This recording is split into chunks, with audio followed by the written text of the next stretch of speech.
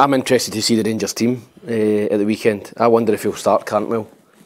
If I'm a manager, I, was, I would play Cantwell. I think you'll get something. I think you'll get a reaction at him. I think if you're in danger of losing the player if he if he's on the bench again, I would I would start Cantwell. Uh, you don't. You, you, I would start him as a ten. You don't think it's anything personal, or do you? Think I don't think it's anything personal, Peter. But I, I, there's something just from my point of view of being an ex-player.